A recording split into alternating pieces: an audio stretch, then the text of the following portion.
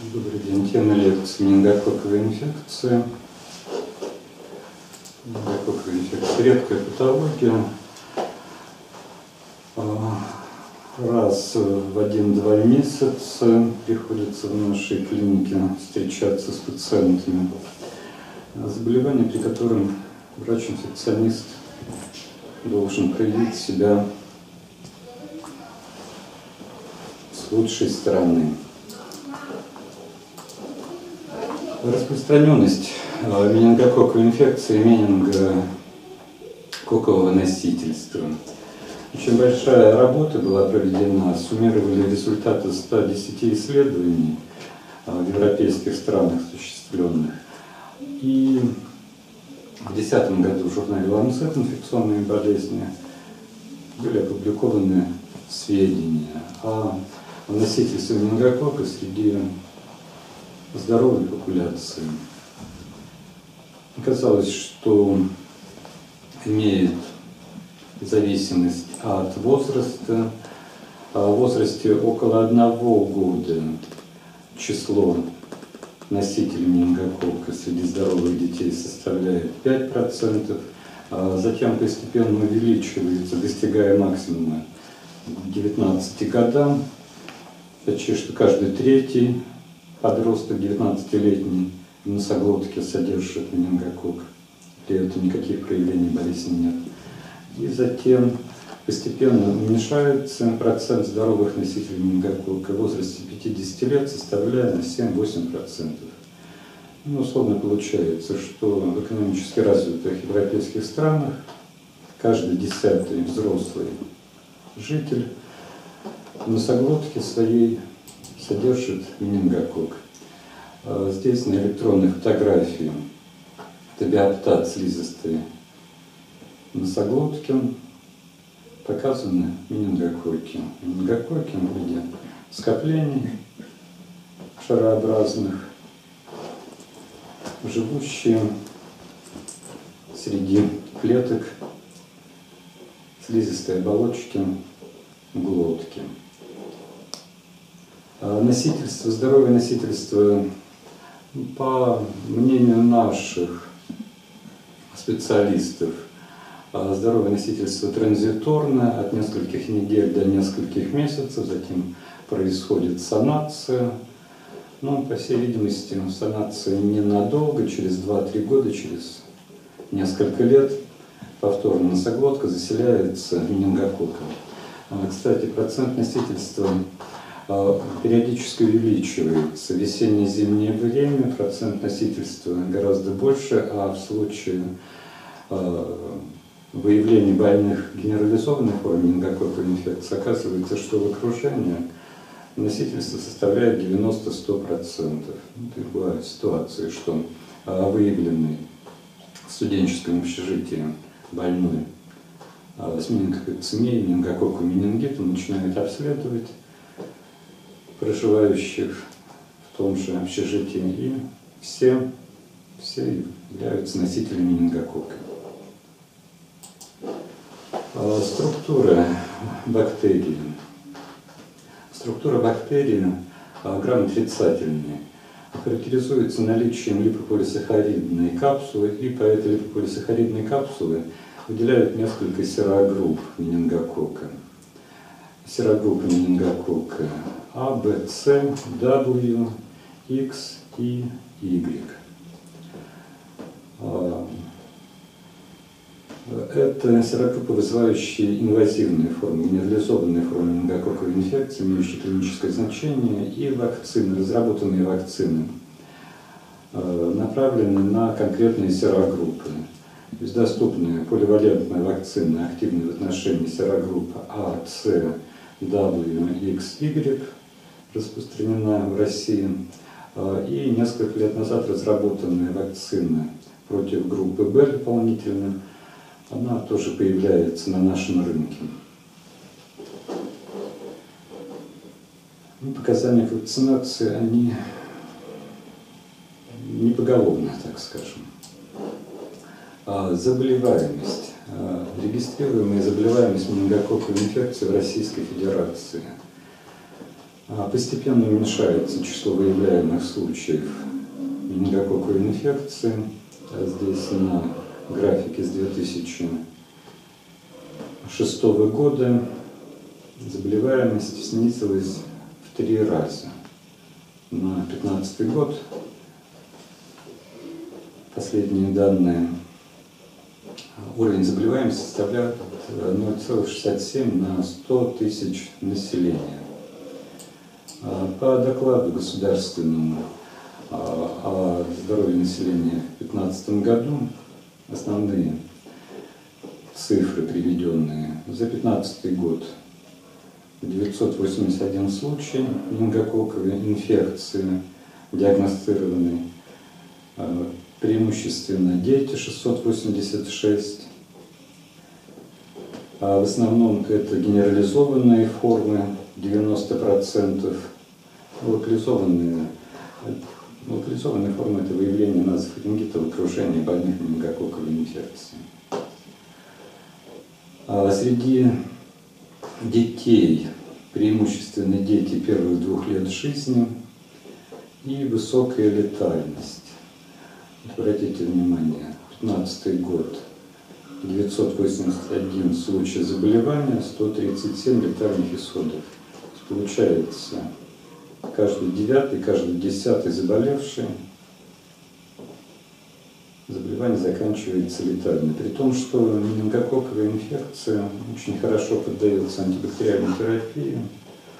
И, по сути, вся летальность связана с поздним началом лечения. А из умерших 137 летальных исходов, из них 94 ребенка до 17 лет. Сообщается о том, что а, летальные исходы 63%, больше половины летальных исходов, а, развитие заболеваний в первые сутки погибли, досуточная летальность в результате молниеносной формы менингококковой инфекции. А в 2016 году на начало, вернее за 2016 год за январь-декабрь 2016 года. Сводных данных нет, доклад еще не подготовлен российским. Ну, предварительно за январь-декабрь 2016 года было отмечено снижение заболеваемости менингококковой инфекцией на 24%. То есть еще, еще меньше больных. Ну, вот это затишье вполне может закончиться всплеском всплеском подъема заболеваемости. А, среди диагностированных форм менингококковой инфекции около 50% приходится на менингит, около 30% приходится на менингококковый сепсис, менингококцемию, а, около 20% это сочетание а, сепсиса с менингитом. И прочие формы, 10%, преобладают в основном а, назофарингит, и редко у нас диагностируется менингококковая пневмония, хотя за рубежом она каждого десятого, почти что у каждого десятого заболевшая менингококковой инфекцией составляет в структуре. Ну, у нас вообще бактериологическая диагностика пневмонии поставлена плохо, если бы нашу пневмонию хорошо диагностировали в лаборатории, может быть, и в России было бы большое число менингококковых пневмоний. А по менингококковой инфекции разработаны нормативные документы российские. Это клинические рекомендации и санитарные правила клинические рекомендации. Э, мы говорили о том, что размещены на сайте Минздрава Российской Федерации в разделе «Федеральная электронная медицинская библиотека». Ну, в течение последних нескольких недель э, Федеральная библиотека загрязнена вирусами. Почему-то администраторы сайта Минздрава не обращают на это внимания. То есть можно, конечно, э, снять защиту компьютера, открыть, э, ну, я бы не советовал. Поэтому обратите внимание, адреса, по которым помимо э, Федеральной библиотеки можно получить, а, можно получить клинические рекомендации. Национальное научное общество инфекционистов – на сайте организации представлены рекомендации менингококковой инфекции у взрослых менингококцемия, менингококковой инфекции у взрослых менингит. А, и на сайте научно-исследовательского института детских инфекций по адресу, представленному на слайде, а, протокол лечения детей больных менингококковой инфекцией. Кроме того, санитарные правила 2009 года профилактика менингококковой инфекции. А, к нашим российским документам мы еще вернемся. А начать я хотел а, с Департамента здравоохранения США, а, раздел клинические ресурсы, клинические рекомендации, ресурс по адресу, представленному на слайде. Обратите внимание, а, в США приняты клинические рекомендации по ведению инвазивной менингококковой болезни, подготовленные испанскими докторами. Подготовлены в Испании в 2013 году. Там большое количество европейских и американских специалистов принимало участие в подготовке этих рекомендаций. Они пришли на смену рекомендаций 2010 года, а, рекомендаций британских. То есть американцы сами для себя не разрабатывают, а принимают европейские протоколы лечения. А хотя заболеваемость менингококковой инфекции у них примерно такая же, как у нас в России. Это при том, что а, вакцинация проводится достаточно давно, вакцинации а, и против э, серогруппы Б. Но вся вакцинация позволила, лишь позволила снизить заболеваемость э, в полтора-два раза ну, не избавиться. Не избавиться от проблемы этой патологии. Итак, чем хороши практические рекомендации зарубежные? Очень подробно представлен раздел диагностика инвазивной менингококковой инфекции. Термин инвазивная менингококковая инфекция равнозначен тому, что применяем мы, генерализованная форма менингококковой инфекции. То есть это либо менингококцемия, либо менингит. Э, часть, часть текста э, переведена дословно, как представлена диагностика. Во-первых, подчеркивается, что врач должен быть подготовлен к диагностике и лечению инвазивной формы менингококковой инфекции. Э, заболевание настолько редко, если работаешь не в крупной больнице,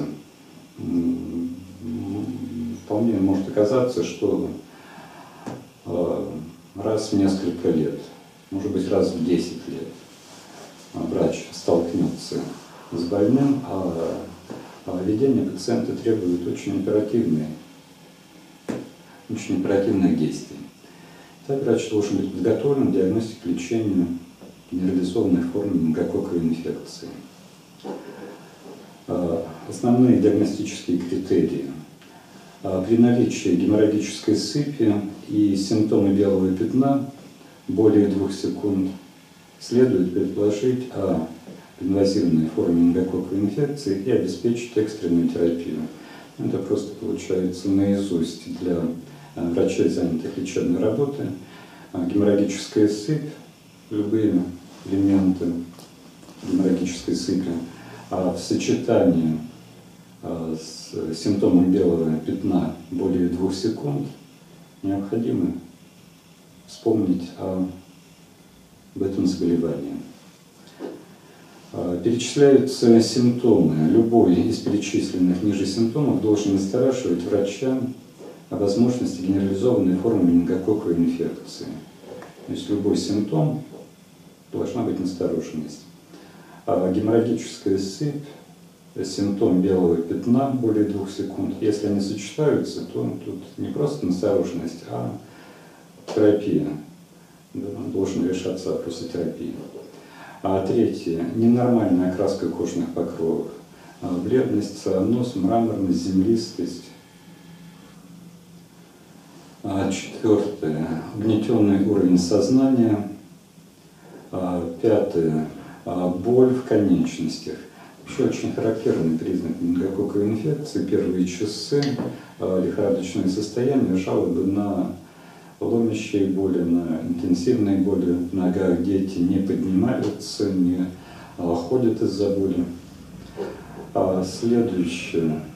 Холодные кисти стопы. А далее лихорадка, температура более 38 градусов, головная боль, ригидность шеи, светобоязнь. Это тоже наизусть должно запоминаться, что любой из этих симптомов надо думать о возможности менингококковой инфекции. Ну, по сути, получается, что любой лихорадящий пациент,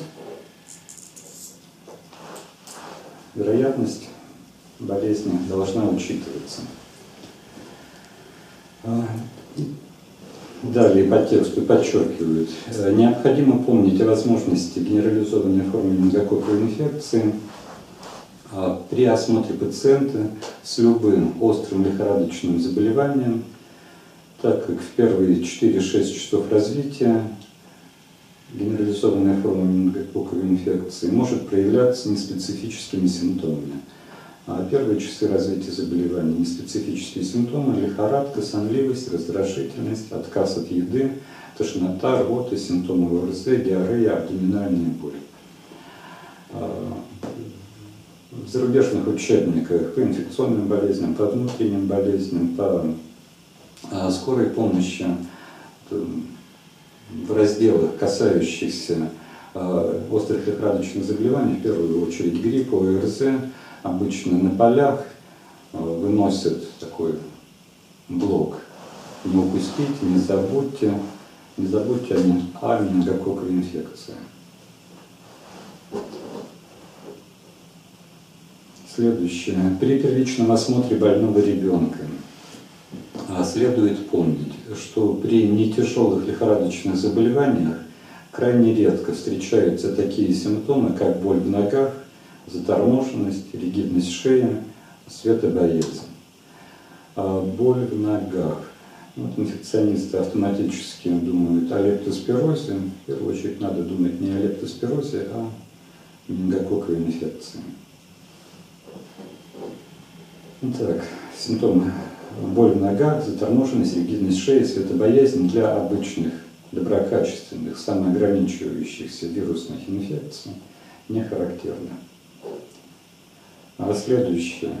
А, необходимо помнить, что генерализованные формы менингококковой инфекции быстро прогрессируют, и симптомы изменяются в течение короткого периода времени.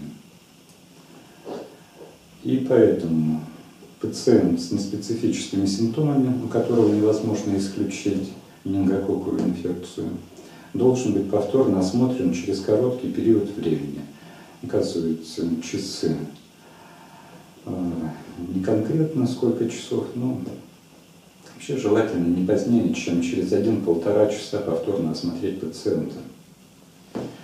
А кроме того, врач должен проинформировать родственников больного о необходимости экстренного обращения при прогрессировании сыпи а, и, или ухудшении состояния. А, при этом врач должен быть уверен в надежности ухаживающих за пациентом, и в доступности экстренного обращения. А, тут имеется в виду ситуация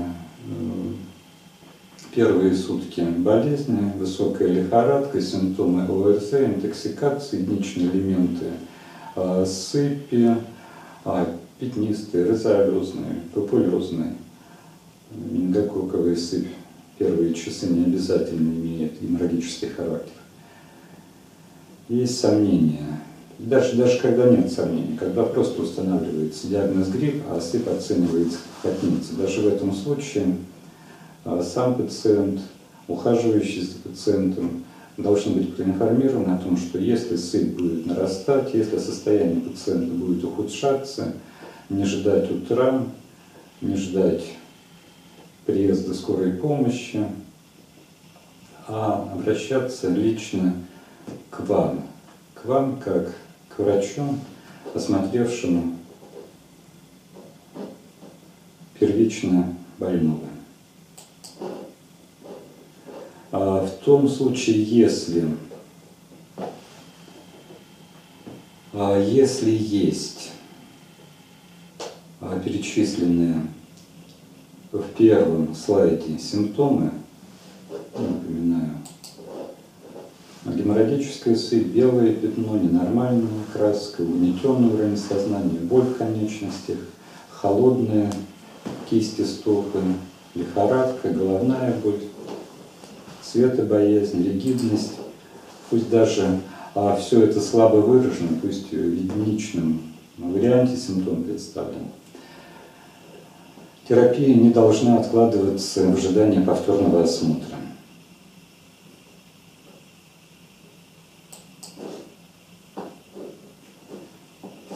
Э, ряд, ряд э, вопросов клинических представлен э, в рекомендациях международных, подготовленных испанскими врачами, в виде вопроса и ответа на эти вопросы.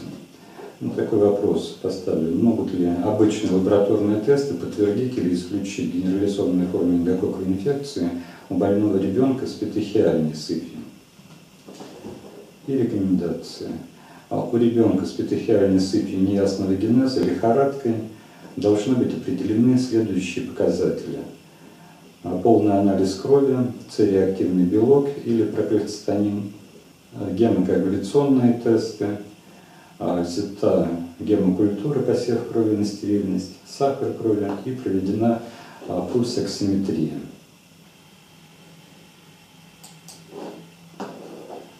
А, и в том случае, если в том случае вернее, у больного ребенка с патохиальной сыпью неясного генеза лихорадкой без других клинических признаков а, менингококковой инфекции, то есть белого пятна нет, ноги не болят, кожа нормальной окраски. Есть только единичные эпитехии, лихорадка и проведены исследования. А следует начать специфическую терапию немедленно, если определены повышенный уровень ЦРБ и или лейкоцитоз, особенно нейтрофильный, так как они свидетельствуют о высоком риске генерализованной менингококковой инфекции. А, второе указание. Следует помнить, а, что хотя генерализованная менингококковая инфекция маловероятна при нормальном уровне ЦРБ, ЦРБ лейкоцитов, эти параметры могут быть в норме в ранние сроки болезни или при ее особо тяжелом течении. По лейкоцитам а, признак тяжелого течения – лейкопения. Вообще уровень лейкоцитов ниже 4, 4,5. А, для больных менингококковой инфекции показатель настораживающий, опасный. А третье. Ребенок петехия и лихорадка. А, оценивайте состояние больного не реже одного раза в час в первые 4-6 часов наблюдения. А состояние больного хотя бы по таким признакам, как уровень сознания, а, частота дыхания, гемодинамика, диурез, а, симптом белого пятна и пульсоксиметрия. Далее, если предположение а генерализованная форма менингококковой инфекции сохраняется, начинаете антибактериальную терапию, госпитализируете пациента. А если после 4-6 часов наблюдения вероятность генерализованной менингококковой инфекции исключена, а следует предупредить пациент, предупредить родителей больного ребенка о необходимости повторного обращения при ухудшении – Например, при появлении новых элементов сыпи, при угнетения сознания, сонливости, раздражительности и других признаков. Несколько картинок. Первый элемент из сыпи. Ноги, коленная область, лихорадящий э, ребенок, это дошкольник. Заболевание даже при проведении антибактериальной терапии прогрессировало несколько часов. А первые элементы сыпи могут быть такого характера. Здесь уже есть геморрагические высыпания. А, геморрагический характер сыпи, не бледнеющая сыпь, проверяется прикладыванием стеклянного стакана. То есть это может быть дано как инструкция, если обращаются по телефону э, на скорую помощь, говоря о том, что высокая температура, сыпь, обычный совет, проверьте, исчезает ли сыпь при надавливании на кожу, бледнеет ли она при надавливании. Если говорят, что не бледнеет, отправлять пациенту надо не просто бригаду фельдшера, а реанимационную бригаду. Вот еще та же самая проба, не бледнеющая сыпь. Это ребенок в возрасте одного года, лежит на спине. А, высыпание геморрагические на слизистой полости рта, а, геморрагии в конъюнктиве, также признак. А, сыпь может быть обильной, напоминающей рикетиозы. Без лечения распространяется, распространяется по всему туловищу, появляется на лице нехороший прогностический признак, это уже поздние сроки. Поздние сроки, хотя от появления первых элементов прошло 4-5 часов. С появлением некрозов в центре высыпания –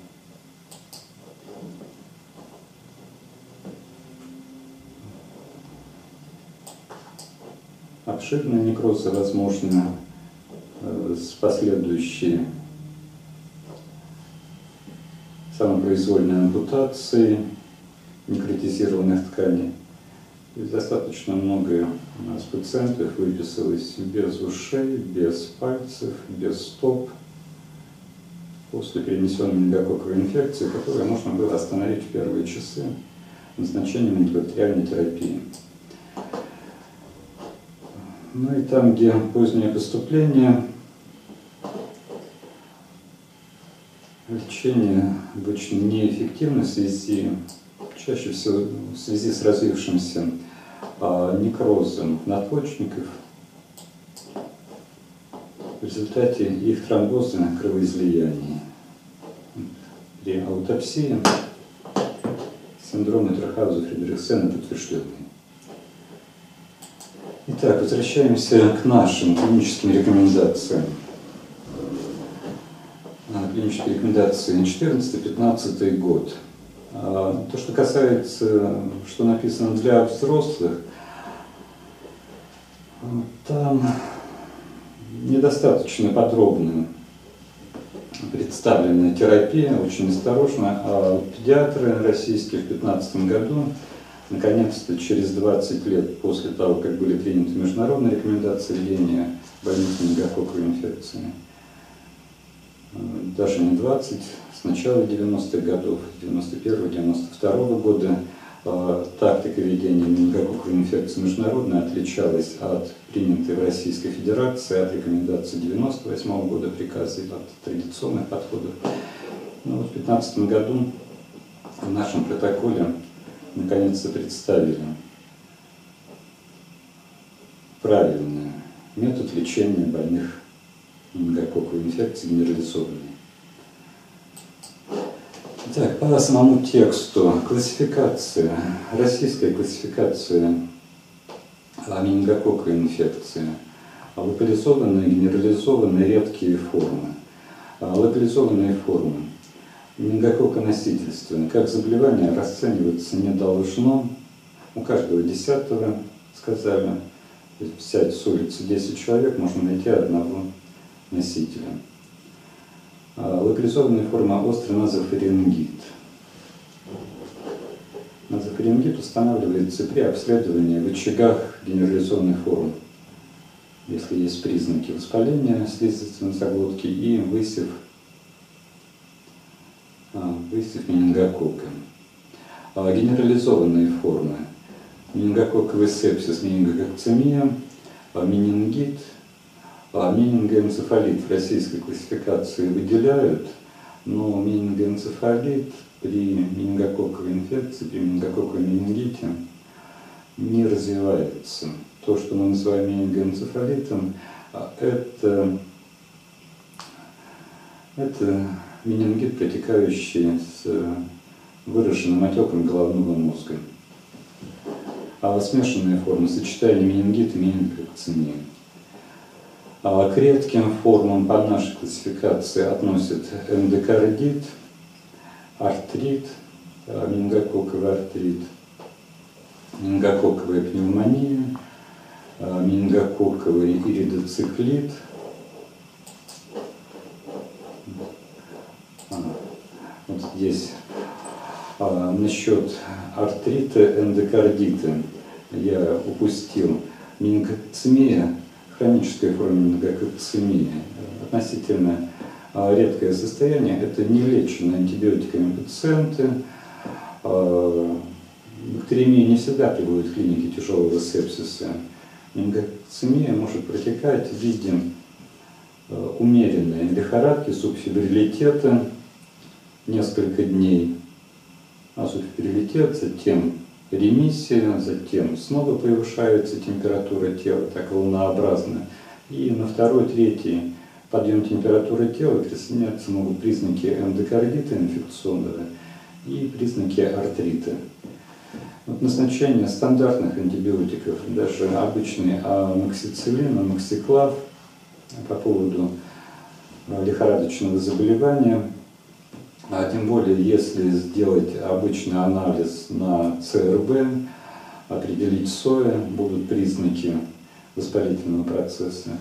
То есть, если провести обычную антибактериальную терапию, хроническая форма менингококковой инфекции должна купироваться.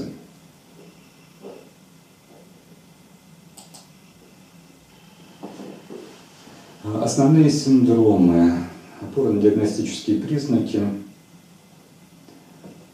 для конкретных форм менингококковой инфекции определенные э, в наших рекомендациях российских. Ну, во-первых, инкубационный период до 10 дней. Инкубационный период до 10 дней. В эти сроки развития у контактных а менингококковый назофарингит – два синдрома, общеинфекционный и синдром назофарингита, общеинфекционный а, субфибрилитет 3-5 дней, незначительные симптомы интоксикации. А назофарингит абсолютно ничем не отличается от э, других острых респираторных заболеваний.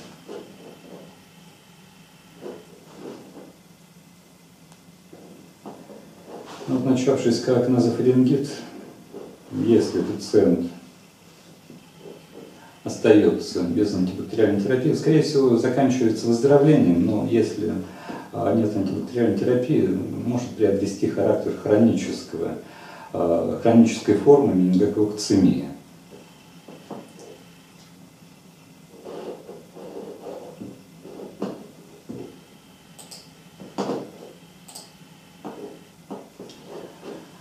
Менингококковый сепсис, менингококцемия. Два синдрома. Общеинфекционный и синдром экзантемы. А, общеинфекционный синдром. А, внезапное начало заболевания с подъемом температуры до 38-40 градусов, а, озноб у детей,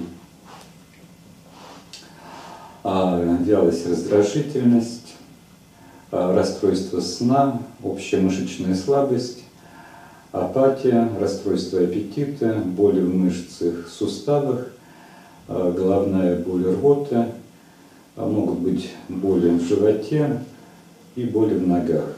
Еще раз на боли в ногах, здесь наши рекомендации очень фиксируется. Боли в ногах обратите внимание. А характерная ригидность температуры к введению антипиретиков. Прогностически неблагоприятный признак а, снижение температуры тела после а, подъема кратковременного до нормальных, субнормальных цифр. Это свидетельство глубоких нарушений гемодинамики свидетельство развития септического шока.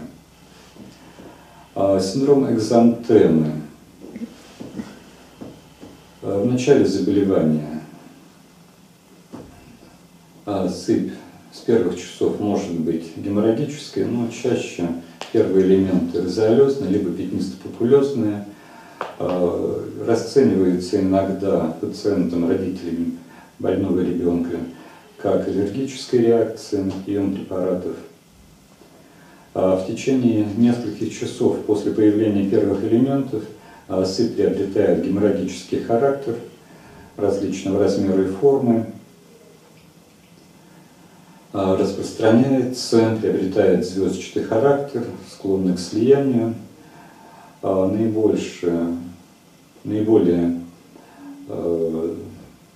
Характерна локализация ягодицы, задняя поверхность бедер, голени, веки, склеры и при тяжелых формах болезни лицо.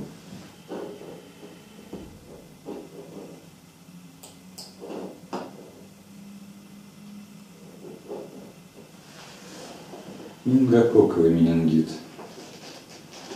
Три синдрома представлены в наших рекомендациях – а, общеинфекционный а, синдром менингита, менингиальный синдром, синдром воспалительных изменений в церебральной, цереброспинальной жидкости.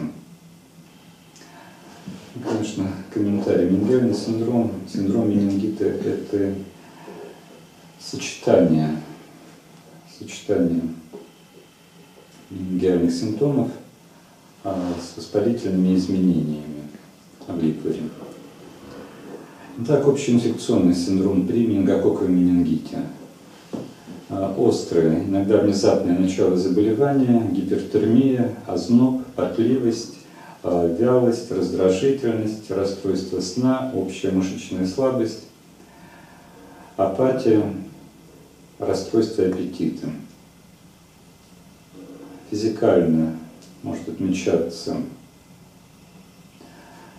может отмечаться Здесь написано приглушенность станов сердца, изменение частоты пульса, неустойчивость давления, небольшое увеличение печени. Неустойчивость давления обычно проявляется наклонностью к артериальной гипертензии. Э, артериальная гипертензия необходимой для компенсации, для компенсации э, церебрального перфузионного давления. Э, менингиальный синдром – Э, рассматриваются как общемозговые и собственно менингиальные симптомы. Общемозговые симптомы. Интенсивная распирающего характера головная боль, э, гиперэстезия, повторная рвота, нарушение поведения, сознания. Для детей грудного возраста характерно резкое беспокойство, пронзительно немотивированный мозговой крик, э, тремор рук, подбородка, обильные срыгивания, а, гиперэстезия, запрокидывание головы сзади, возможно выбухание большого родничка, ну, вплоть до расхождения сагитального коронарного швов, расширение венозной сети. А при нелеченном менингите возможно развитие гипотензии внутри черепной, сменившей отек мозга, и западение родничка. То, что называют э, развитие интрикулита обычно у детей, там, где лечение проводилось неверно или вообще не проводилось.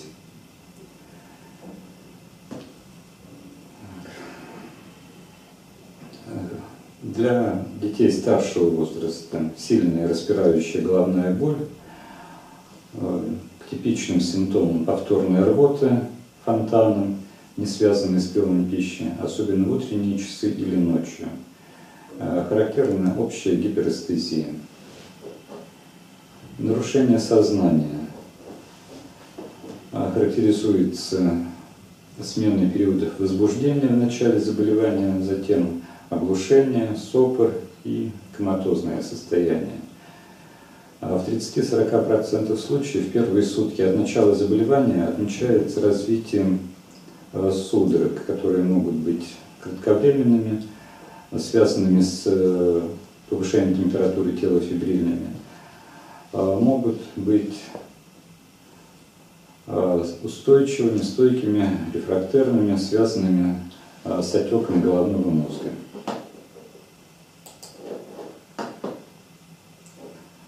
Менингиальные симптомы. Менингиальные симптомы. Наиболее постоянная ригидность мышц шеи. Ригидность шеи, нас называют ригидность мышц затылка. А все остальное гораздо реже. Тоже развитие и Кернига, и Брудзинского, и менингиальной позы – запущенные случаи заболевания. Изменение ликора. Третий симптомокомплекс, характеризующий менингококковый менингит. А синдром воспалительных изменений цереброспинальной жидкости. Нейтрофильный плеоцитоз, повышение белка, а, пишут положительные реакции Панди, Нона Атвельта, не делаем, давно эти реакции. А, снижение уровня глюкозы в ликворе, снижение коэффициента глюкозы в ликворе, глюкозы в сыворотке крови. Вы знаете, что нормальное содержание глюкозы в ликворе составляет половину уровня глюкозы крови, поэтому а, для оценки для оценки ликворологической уровня сахара требуется одновременное определение и в крови и в ликворе. А, снижение уровня глюкозы характерно для всех бактериальных менингитов и ну, сейчас много менингитов грибковых, увеч-инфицированных. Там также характерно заметное снижение уровня глюкозы вплоть до неопределяемости.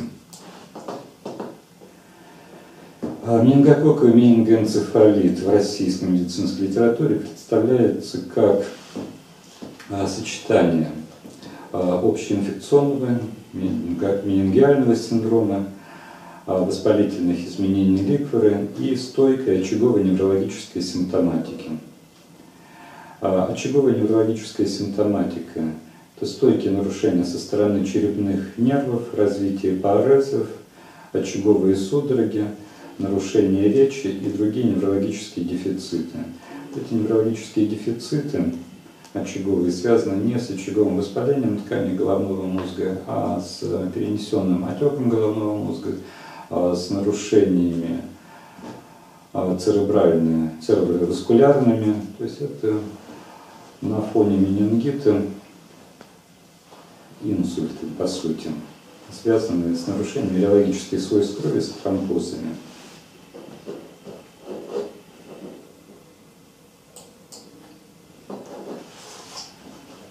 Клинические критерии диагностики менингококковой инфекции по российским рекомендациям. Опорные диагностические признаки. А, характерный эпиданамнез. А, характерный эпиданамнез. Сложно сказать, что является характерным эпиданамнезом. А, за 30 лет работы ни одного больного с менингококковым менингитом, либо же с менингококковым сепсисом не видел, который бы сказал о том, что у него был контакт с больным менингококковой инфекцией. А вся заболеваемость спорадическая.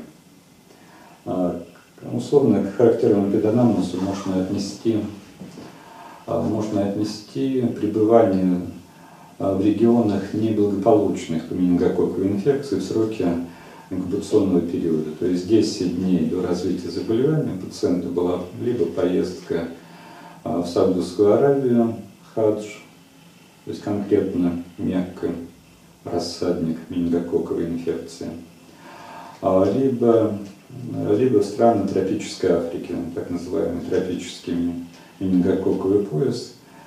Это страны тропической Африки. Так что с эпидонамнезом, ну, эпидонамнез для менингококковой инфекции, когда ставить диагноз менингококковой назофарингит, конечно, имеет значение имеет значение для эпидемиологов, но не для врачей-лечебников. А далее критерии диагностики менингококковой инфекции. Острое начало с развитием характерных симптомов. То есть первые сутки геморрагическая сыпь, либо первые сутки менингиальный синдром. Критериям относят общеинфекционный синдром, синдром назофарингита, синдром поражения а, оболочек головного мозга, синдром менингоэнцефалита, синдром экзантемы. А, в виде таблиц характеристика этих признаков представлена в российских рекомендациях. А признак общеинфекционный синдром начинается внезапно с высоким подъемом температуры до 39-40 градусов и выше – а, появление ознобы, головная боль, вялость, рвота, возможно, мышечные суставные боли. Еще раз подчеркнем, характерные мышечные боли. А, синдром назофарингита.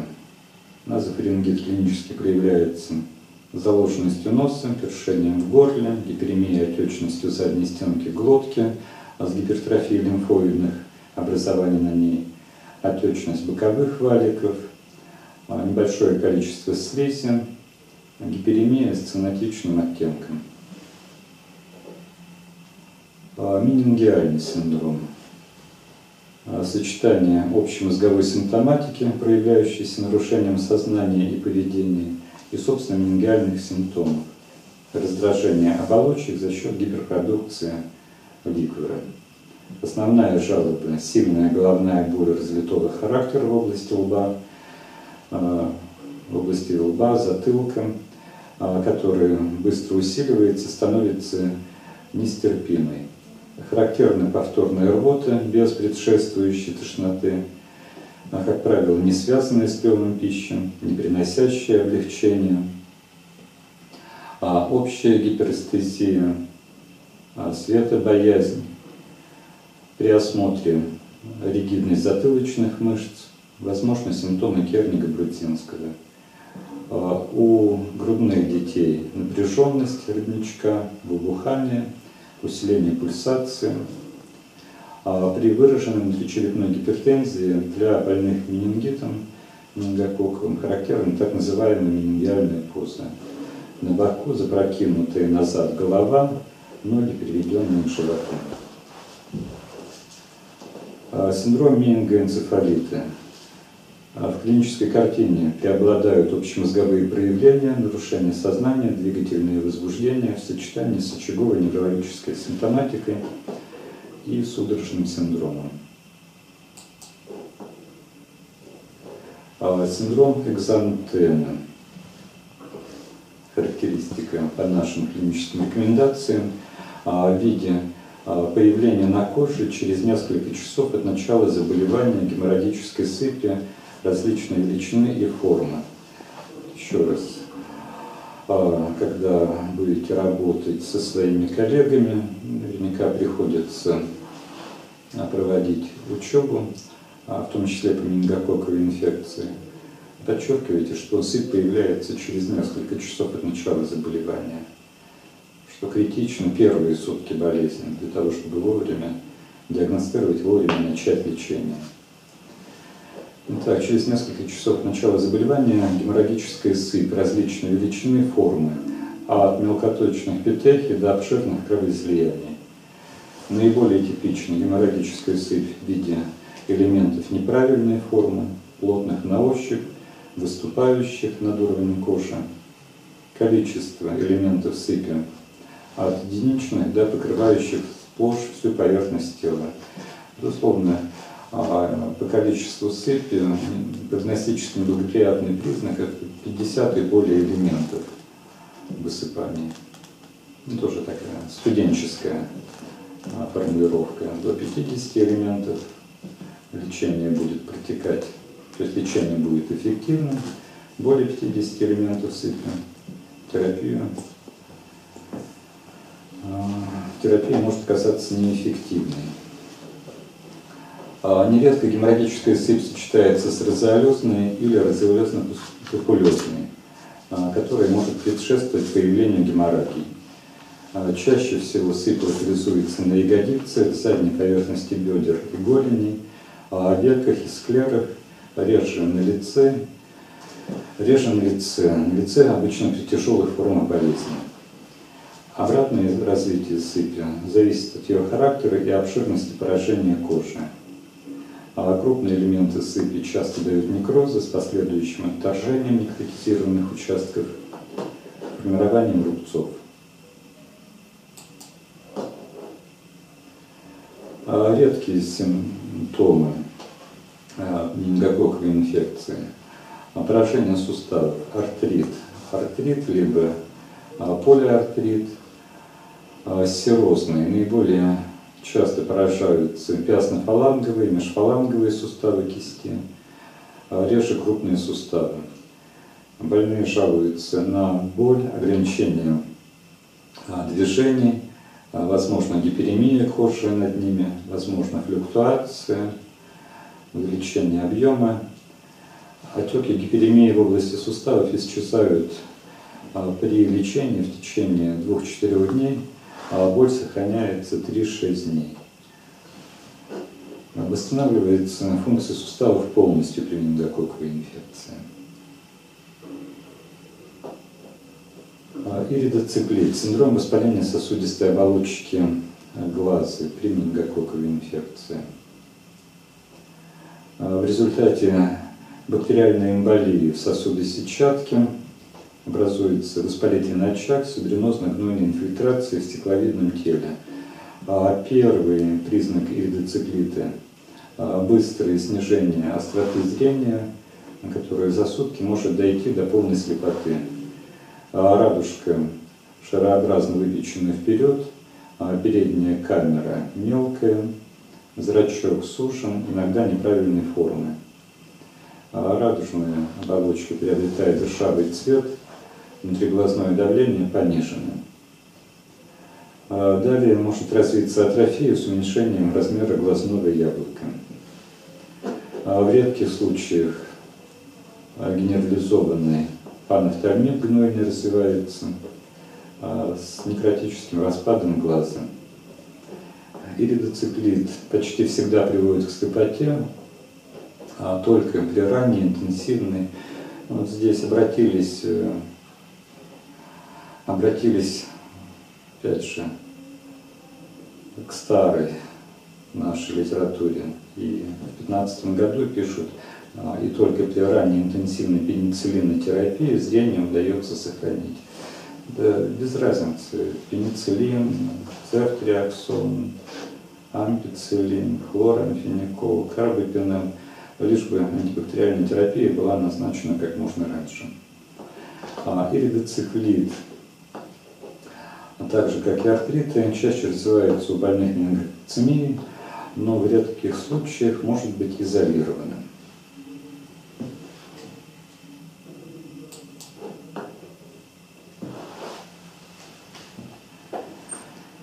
А, тяжесть.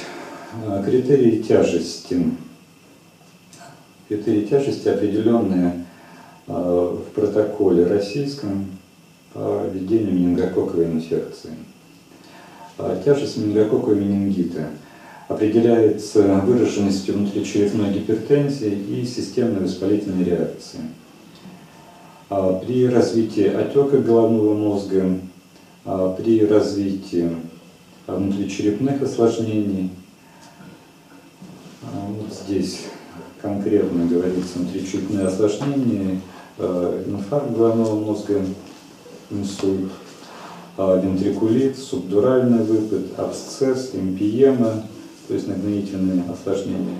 Вот эти осложнения, они и расцениваются как форма менингоэнцефалитическая. А, при септическом шоке, ДВС-синдроме, синдроме полиорганной недостаточности заболевание расценивается как тяжелое. А при отсутствии этих осложнений заболевание расценивается как средней степени тяжести. Ну, условно можно сказать, что если не было угнетения сознания, средне-тяжелый менингит, если было нарушение сознания, тем более другие осложнения, менингит тяжелой степени тяжести. А цитоз не является определяющим фактором тяжести менингита, а так как э, выраженность цитоза зависит от сроков проведения люмбальной пункции и от э, того, проводилась ли люмбальная пункция на фоне антибактериальной терапии или до ее начала.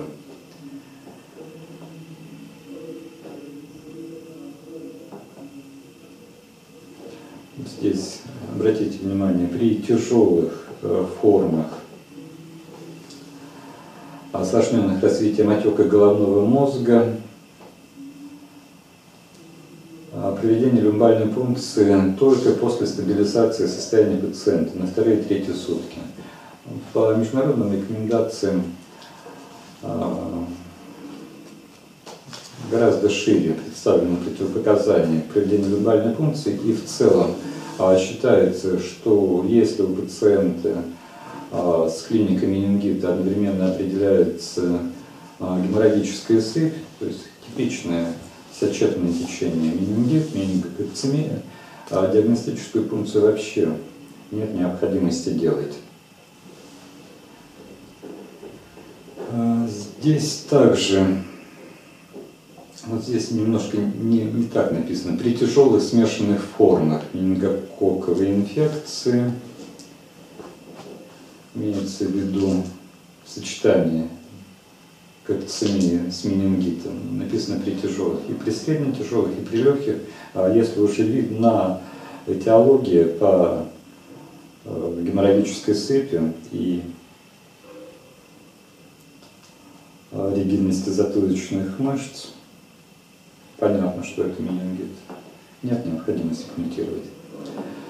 А, к неблагоприятным факторам относятся наличие а, бактерий при микроскопии, а, при низком цитозе, повышение уровня белка более 2 грамм на литр и снижение сахара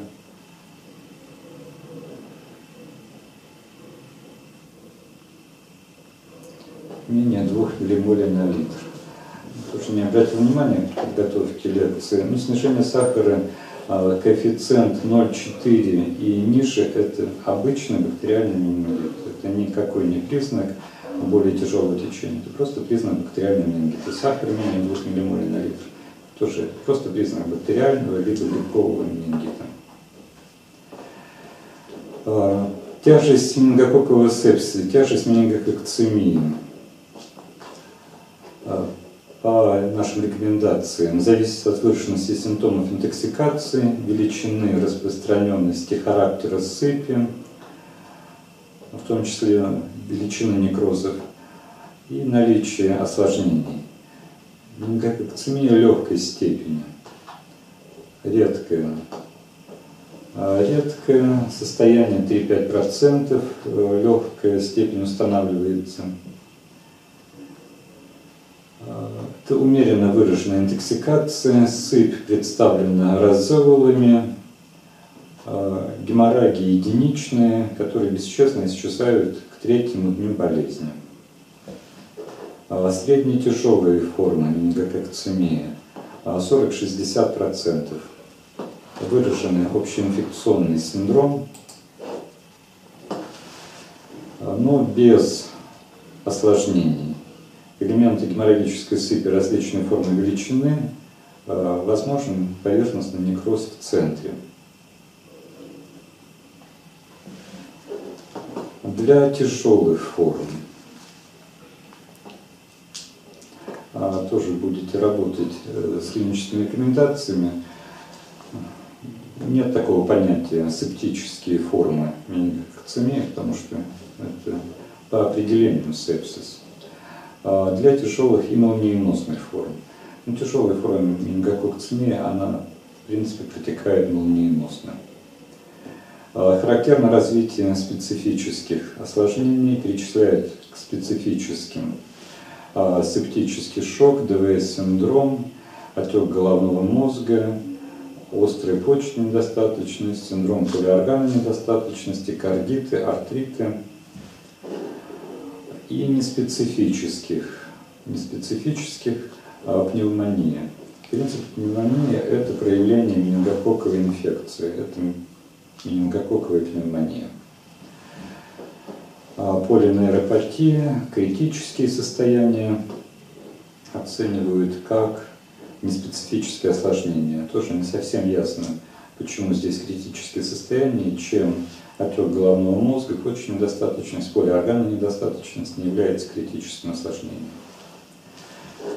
А, сыпь при тяжелых а, формах, а, как правило, изначально носит геморрагический характер, распространяется в первые часы на лицо, верхнюю часть туловища, в ряде случаев обширное кровоизлияние на коже с глубокими некрозами, после отторжения которых образуются язвы, заживающие с формированием а, грубых рубцов, а в тяжелых случаях развитием сухой гангрены пальцев, ушных раковин, носа,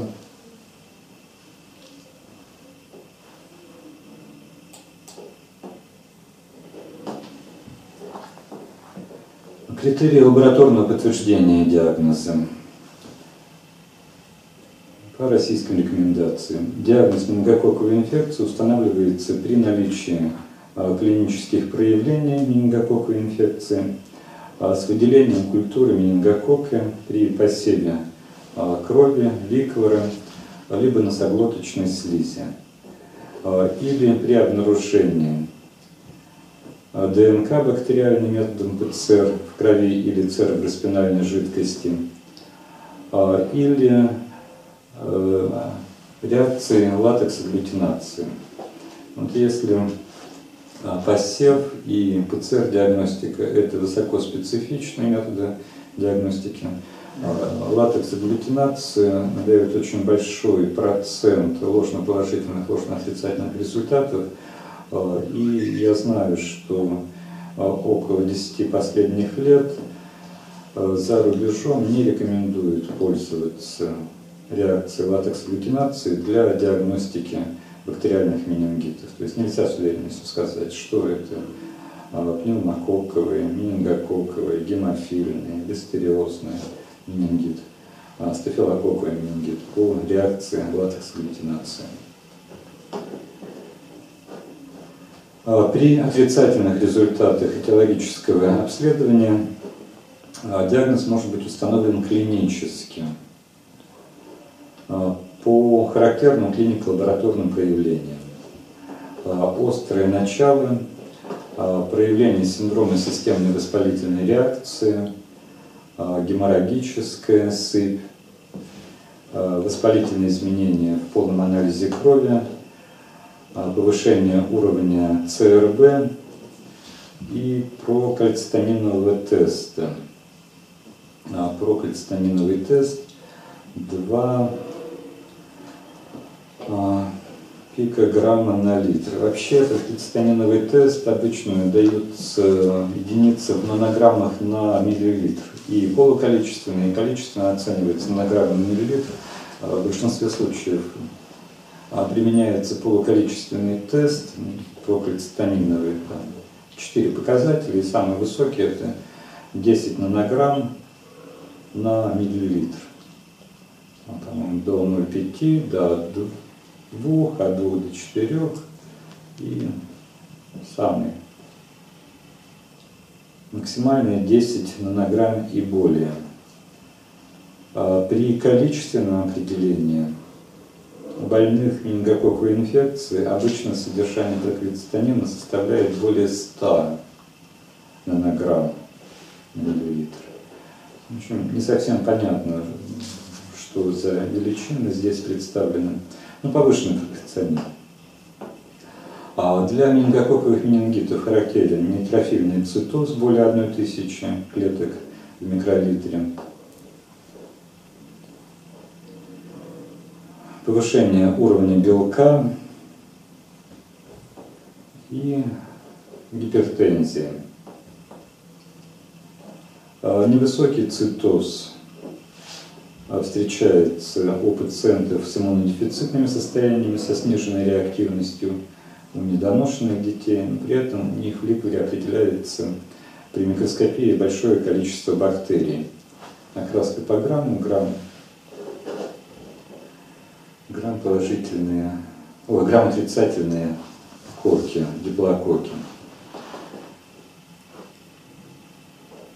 Э, диагноз менингококкового менингита может быть установлен только по результатам анализа э, ликвора. Только по результатам исследования ликвора при выявлении плеоцитоза сочетание с бактериологическим подтверждением либо э, с ПЦР подтверждением. Так, а грамм отрицательным.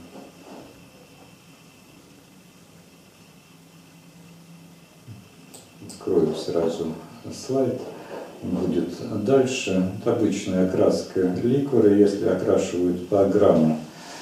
Очень сложно в нашей лаборатории увидеть необходимость исследования патологического материала с окраской по грамму. Просто традиционно в России не принято а, микроскопию с окраской по грамму мокроты, осадка мочи, ликвора, гнойного отделяемого редко делают.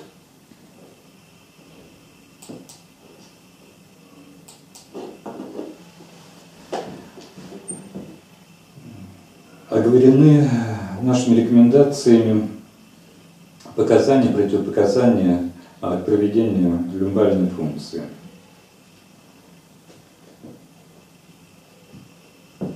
Диагностическая люмбальная функция должна проводиться всем больным с подозрением на менингит при отсутствии противопоказаний. И перечисляются противопоказания. Нарушение уровня сознания по шкале кома Глазго менее 9 баллов, или же э, плавающее сознание.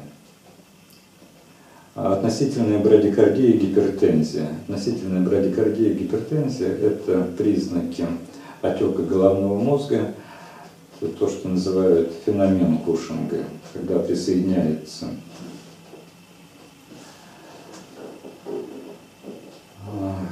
дислокации, там триада Кушинга. А далее противопоказано при очаговой неврологической симптоматике, а при судорожном синдроме, а при нестабильной гемодинамике, неадекватной реакции зрачков, при септическом шоке, при прогрессирующей геморрагической сыпи. Вообще при наличии геморрагической сыпи не надо пунктировать. А при нарушении гемостаза уровня тромбоцитов менее 100 а, в одном микролитре, а у пациентов, получающих по какой-то другой причине антикоагулянтную терапию, при локальной инфекции кожи мягких тканей в зоне проведения пункции, при дыхательной недостаточности. Люмбальная пункция должна проводиться только при стабилизации состояния пациента. А представлены в наших рекомендациях изменения ликвора в зависимости от тяжести течения болезни. Можно не останавливаться на этих критериях лактат, измерение лактата даже в крови, измерение лактата крайне редко проводят э, в ликворе, определение лактата э, вряд ли, вряд ли в ваших учебных учреждениях лаборатория выполняет это исследование.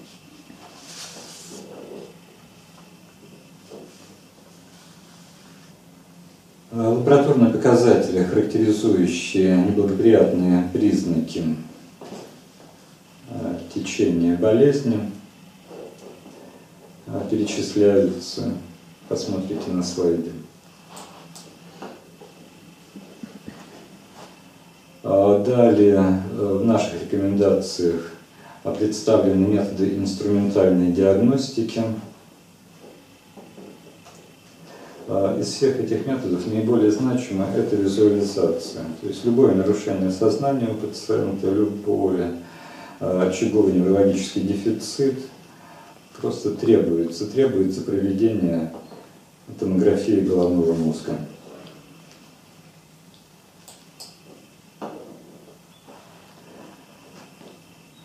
А, критерии театропной диагностики приведены.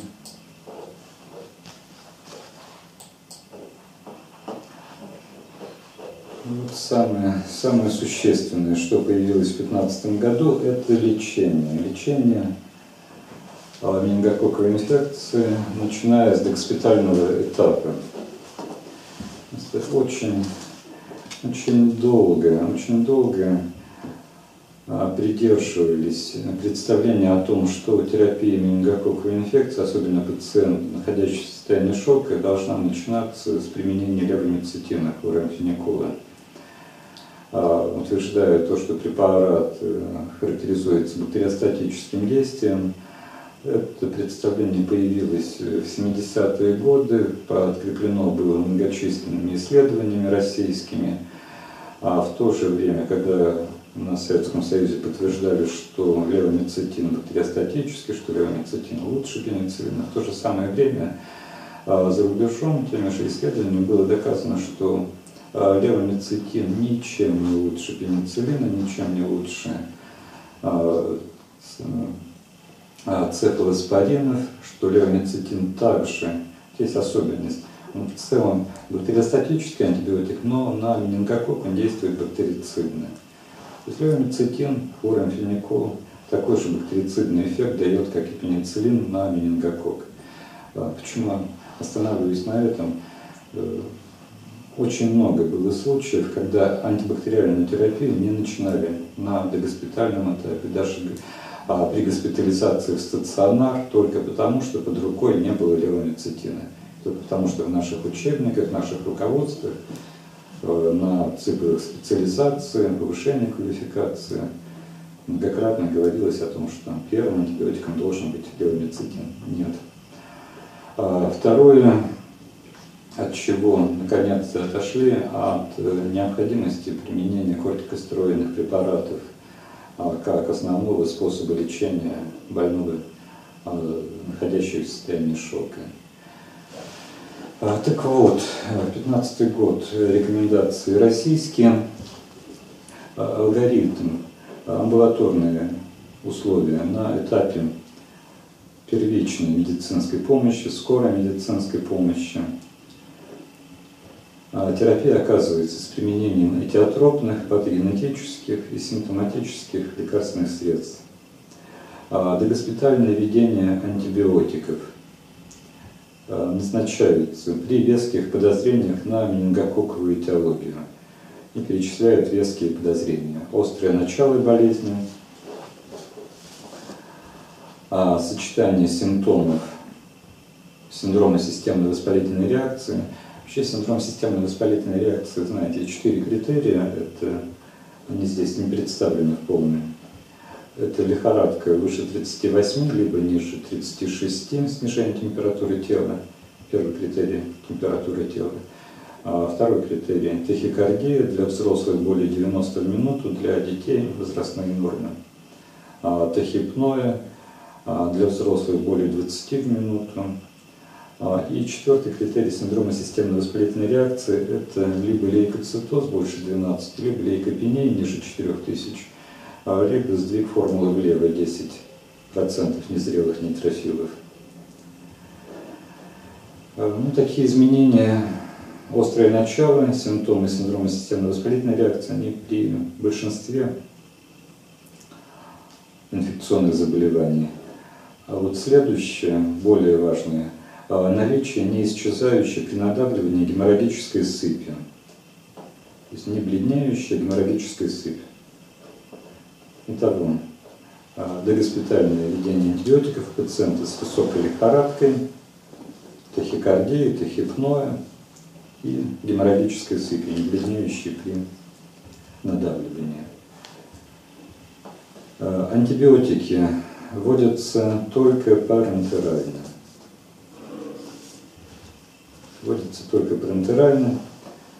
А при подозрении на менингококковую этиологию антибиотик вводится только при наличии сосудистого доступа, а, имеется в виду с установленным внутривенным доступом, а в связи с высоким риском развития острой надпочечниковой недостаточности с падением гемодинамики.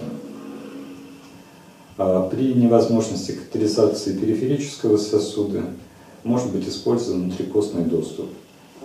А в международных рекомендациях там просто доступ либо внутривенный, либо внутрикостный. То есть от врача требует обязательно установить доступ для инфузионной терапии. А, на догоспитальном этапе предпочтительнее введение цефалоспоринов третьего поколения а, в разовых дозах. А, цефатоксин 50 мг на килограмм, а цефтриаксон от 50 до 75 мг на килограмм. Цефалоспорин третьего поколения предпочтительнее, чем бензилпенициллин. Ну, пенициллин сейчас его и не так-то просто найти. А, по той причине, что в регионах, где нет обязательной вакцинации от гемофильной инфекции, в России обязательной вакцинации от гемофильной инфекции нет, а геморрагическая сыпь может быть проявлением не только менингококкового, это неправильно, не только менингококковый менингит, нет, не только менингококковая инфекция, но и заболевания, вызванных а гемофилус инфлюенция, а пенициллин резистентная. У нас все еще лежит в реанимации ребенок, трехлетний, трехлетний ребенок, типичная клиника менингококковой инфекции, госпитализирован, высох из крови, а гемофилус инфлюенция тип Б. Если бы лечили, как рекомендуют лечить пенициллином, левомицетином, заболевание бы прогрессировало. Но поскольку сейчас а, стараются все септические состояния лечить а, цефалоспоринами третьего поколения, по меньшей мере, на цефтриаксоне он быстро поправляется. А, кстати, такое фулминантное течение, молниеносное течение, фулминантная пурпура,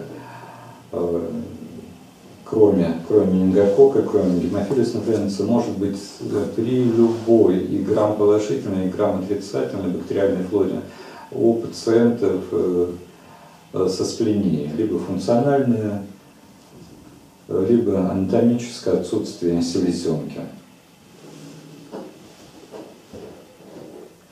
А при указании на тяжелые аллергические реакции на бета-лактамные антибиотики допустимо введение хлорамфеникола надо пользоваться международным непатентованным названием хлорамфеникол. Мы традиционно говорим левомицетин. А дозировка хлорамфеникола разовая 25 мг на килограмм. Итак, показания для применения этого антибиотика – это аллергия к бета-лактамам, аллергия к пенициллину, цефалоспорину, карбопенемам. В этом случае левомицетин. А, важная деталь. А, введение антибиотика не должно быть причиной отсроченной госпитализации пациента. То есть важнее, как можно быстро доставить пациента и конкретно указывается, что при быстрой транспортировке, при быстрой госпитализации до 40 минут, а, если больной будет доставлен, невозможность проведения инфузионной терапия интенсивная, то есть нет возможности установить сосудистый доступ, не смогли, для внутрикостного доступа нет оборудования этой дрели. В этом случае больного надо как можно быстрее в стационар, без введения антибиотика.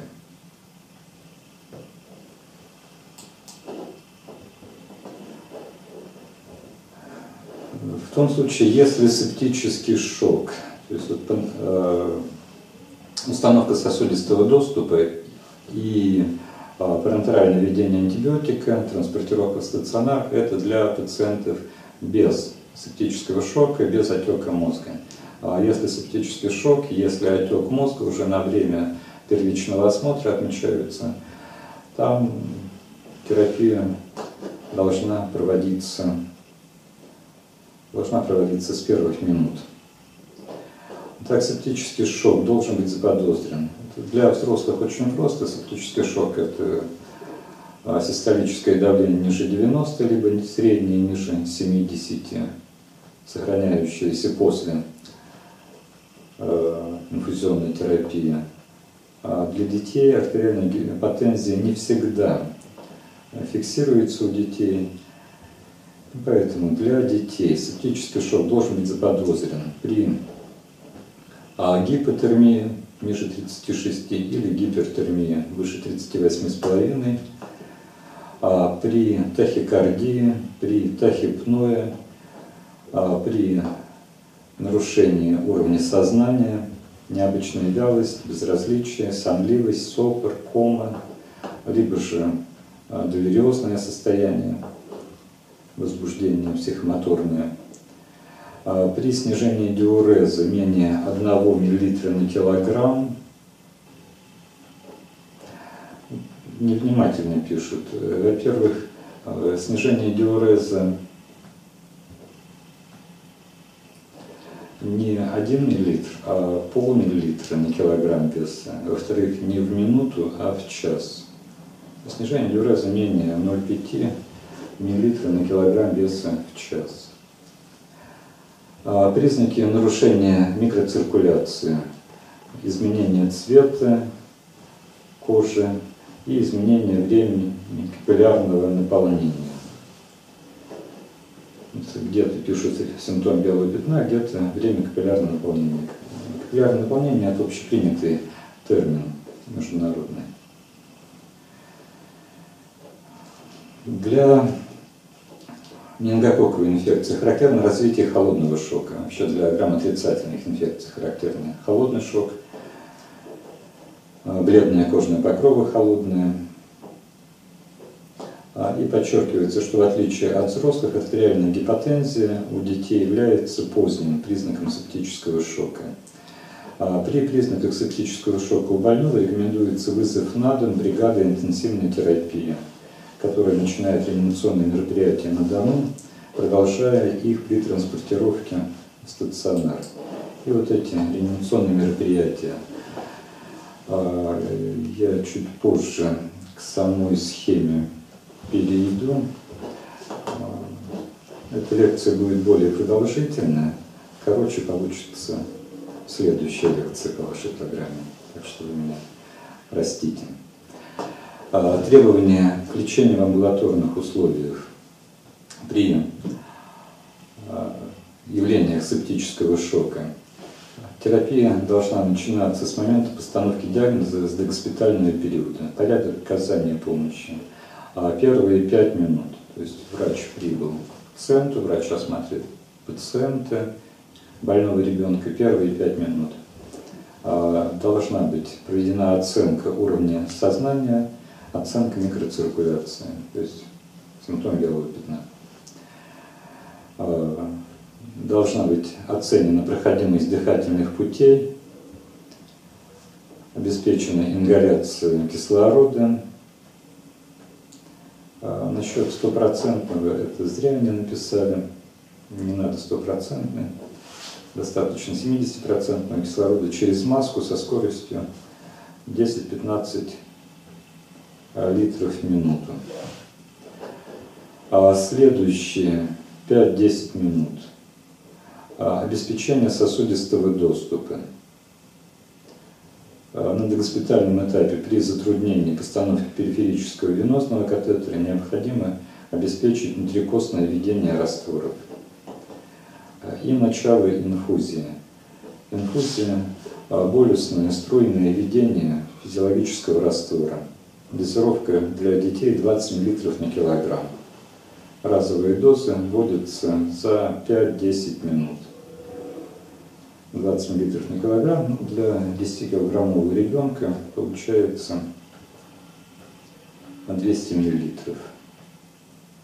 200 мл за 5-10 минут. А следующие 10-15 минут ведения пациента а повторное струйное ведение а физраствора, либо 5% раствора человеческого альбумина. Вряд ли на госпитальном этапе будет альбумин человеческий. Повторное введение физраствора. Всего допускается три струйных введения в дозе по 20 мл на килограмм каждый. То есть на госпитальном этапе может быть введено 60 мл на килограмм физраствора внутривенно либо внутрикостное для детей. Для взрослых, ну, для взрослых э, более стандартный подход.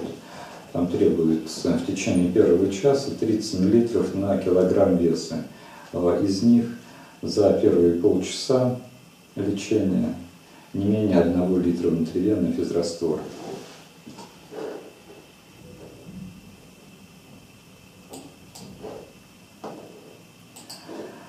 Так. Это то, что по тексту в наших рекомендациях, по тексту порядок оказания помощи при септическом шоке на догоспитальном этапе. А, не указываются, не указываются ни вазопрессоры, а, не указываются ни кортикостероиды. Хотя после двух введений болюсно струйных, то есть после 40 мл на килограмм веса введения ребенку, а после литра физраствора введения взрослому, а если это реанимационная бригада скорой медицинской помощи, они должны подключать к терапии а, для взрослых норадреналин, для детей дофамин или адреналин. А вторая ситуация. Больной с отеком мозга. Отек головного мозга с признаками вот здесь триады Кушинга, признаки дислокации. А, нарушение сознания. 9-10 баллов по шкале Глазго. А, ненормальная двигательная реакция на раздражение, патологическая поза, нарушение реакции зрачков на свет, а, сочетание артериальной гипертензии, брадикардии, нарушение ритма дыхания, триада Кушинга, судорожный статус, очаговая неврологическая симптоматика – в этом случае по нашим клиническим рекомендациям на догоспитальном этапе обеспечение проходимости дыхательных путей, кислород через маску, а, купирование а, гипертермического состояния, если оно есть, применение диуретиков, фуросемид 1-2 мг на килограмм веса для детей. При развитии судорог, при судорожном синдроме реланиум, диазепам, доза 1,1-15 мг на килограмм. А при отсутствии эффекта, эффекта повторяется через 5 минут повторно. И все, тоже все, что написано по нашим рекомендациям. А вот дальше по тексту. Дальше по тексту в клинических рекомендациях российских представлены таблицы, которые были в 2010 году в британских, в британских рекомендациях введения больных с менингококковой инфекцией, кальцемией и бактериальными менингитами.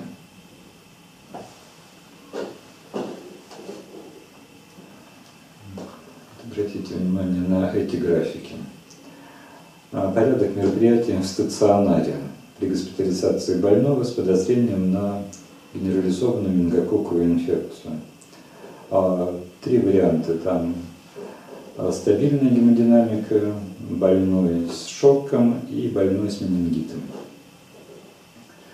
Итак, при стабильной гемодинамике. В любом случае, госпитализация, выделение интенсивной терапии, оценка дыхание, оценка гемодинамики, оценка уровня сознания, обеспечение сосудистого доступа. Больной должен поступить с установленным сосудистым внутривенным катетером. или внутрикостным.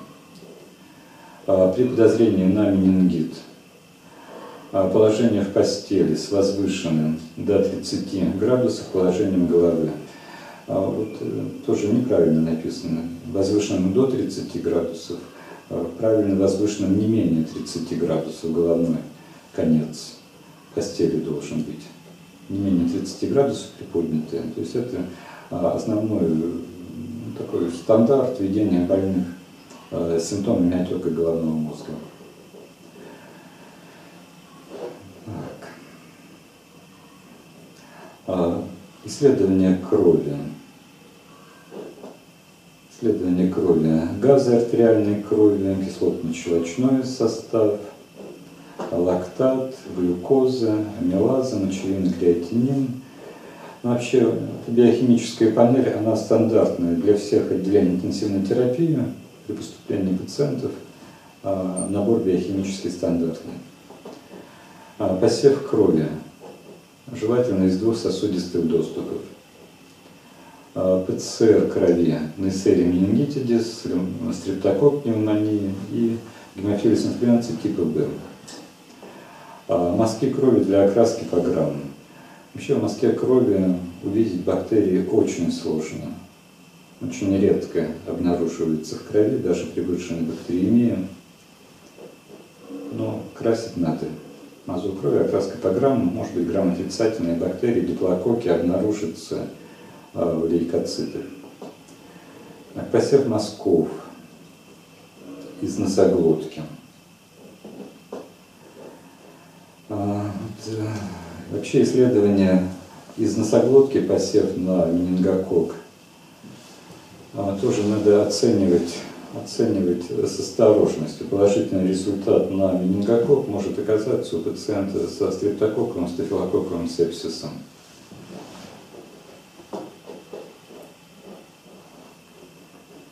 А, так, ну, много-много чего Э, лишнего здесь включили. Вот начало, начало антибактериальной терапии сразу после забора крови для бактериологического исследования. Просто конкретно, конкретно в оригинальном документе написано, что антибактериальная терапия должна быть начата не позднее 60 минут, не позднее одного часа с момента обращения пациента, с момента первого осмотра, первых минут осмотра пациента врачом. А длительность бактериальной терапии 5-7 суток. Вообще стандарт лечения менингококковой инфекции 7 дней.